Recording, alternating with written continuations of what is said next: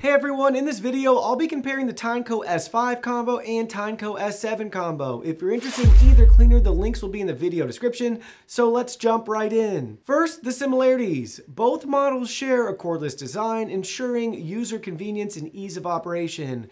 They both can convert into handheld vacuums, offering flexibility to clean corners, stairs, crevices, and other hard to reach areas. They also serve as versatile wet dry vacuum and mop solutions.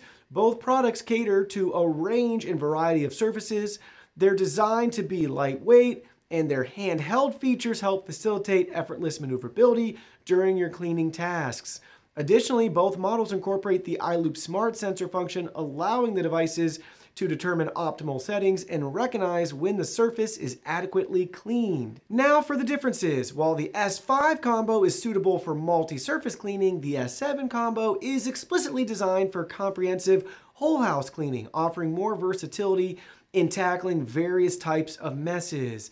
The S7 combo incorporates more advanced technologies such as MHCBS for continuously clean brush washing, an upgraded self-cleaning system, and zero tangle brush. The S7 combo also features dual edge cleaning as a wet dry vacuum, which allows you to get closer to clean along baseboards, trim, and hard to reach areas.